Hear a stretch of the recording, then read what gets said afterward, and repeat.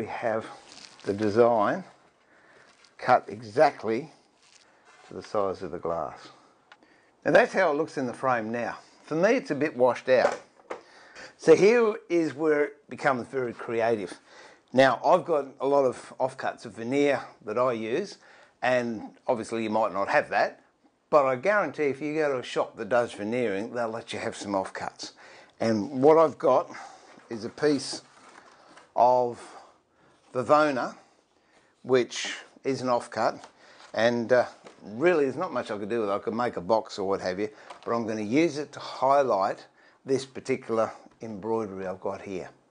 You see, got a blemish there, cracked ends there, and a split right here.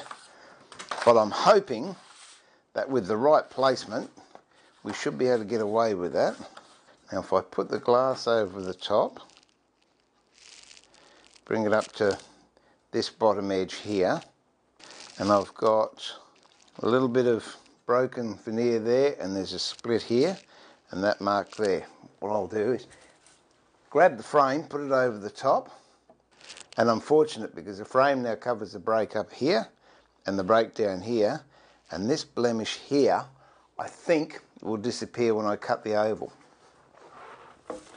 So what I've got here is a plywood oval that I made, and if you want to know how to make these, check it out there. It's a video I did for Woodworking Masterclass. Now for this particular one, all I did was went to Word on the computer, and went to shapes and I picked the distance I wanted here, which I think it was 300 mil, and from here, which is 200 mil, and then pressed create oval and printed it out. And then stuck it onto a piece of plywood and cut around it. If you don't have access to Word or you're not comfortable doing that, again, if you check that video out at Woodworking Masterclass, I'll show you how you can make ovals without even using a compass or anything tricky. It's just done, a couple of nails and a piece of wood. But nonetheless, get your oval, and I've worked out the oval over this embroidery. Looks really nice. Pop that to one side, grab my knife, and what I'm going to do is keep this as my straight edge down the bottom, and then I'm going to cut around the glass that'll give me the square. As I've said before, when you're cutting veneer, you only very, very light pressure and don't try and do it in one cut because if you do, you're going to, in a lot of cases, tear the veneer. And this Vavona is extremely fragile, so I don't want to force it. And when it comes away, it just comes away easily like that.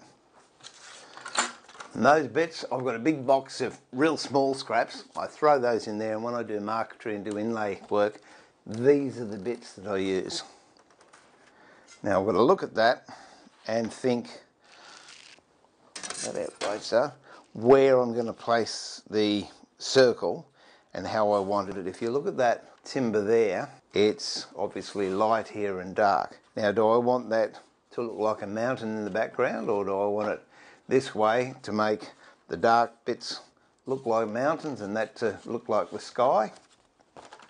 I'll have a look at the piece that I'm working with and to me I prefer to have the pandas in this open area here and these possibly could be dark clouds coming down. But it's personal preference, it doesn't matter, it's whatever pleases you and that's the great thing about doing woodwork, it's what pleases you, or in this case, pleases the wife. And seeing she doesn't work with veneer, I think I've got a couple of head, points head start on her. So now I'm going to put this oval, I've got a little bit of double-sided sticky tape there, and I'm going to place it so it's central. I'll just get my ruler and I'll measure in from the sides and the measure top and bottom. About 320. It's about 320. So I reckon that's pretty well spot on and central. If you wanted, obviously you could mark centre lines here and centre lines here and line it up that way and that could be an easier way of doing it. Now I'm just going to trace around using a knife and cut that oval out. I'm not going to do it in one hit. do it in sections. And you will hear and feel when you're actually through the veneer. Then move on to the next section.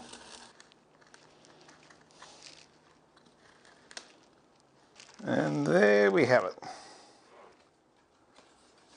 This piece here I'll save for something else, but we dodged a bullet and we got hold of that nasty little hole there. Now we've got a couple of little mishaps here where that's come apart, but really it's not an issue. What I'll do is get a bit of sticky tape. Put that together.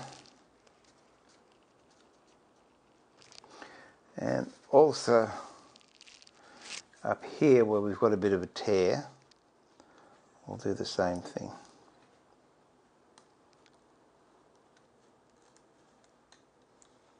there's something nice about working inside. It um, doesn't seem as hurried. Well, it can't be, can it?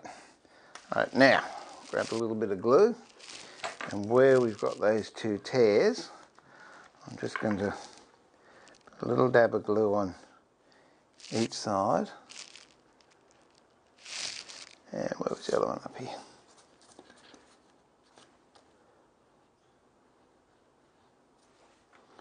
Top on the glue. Now bend it very carefully and you just slide the glue in the crease that is visible when you bend that sticky tape. Same here.